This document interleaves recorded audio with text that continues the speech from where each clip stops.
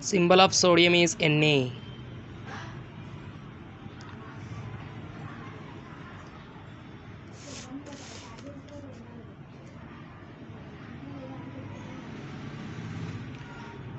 Thank you for watching this video.